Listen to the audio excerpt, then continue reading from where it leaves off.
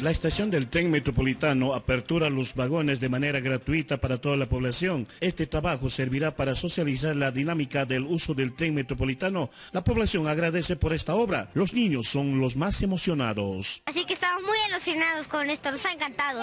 El estado, sí, queremos ir.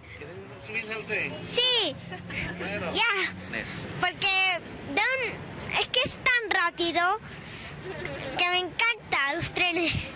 Un avance para Cochabamba, una ciudad tan bonita, con un tráfico tan denso, le viene bien tener este, des- este desfogue y es algo pues que añade al, al atractivo de la ciudad, yo creo.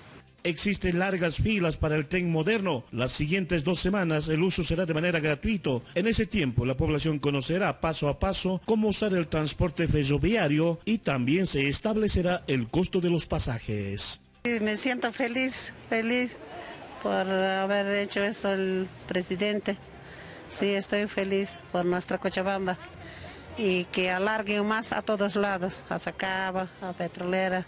Creo que queríamos venir a conocer y bueno, aprovechando este día también, para como es gratis. Eh, me parece bien, ¿no? Para transportarnos más fácilmente y estamos viniendo a conocer justamente. Sí, pues está muy bien, entonces queríamos subir la primera vez y a ver si vamos a conocer cómo corre, hasta dónde va,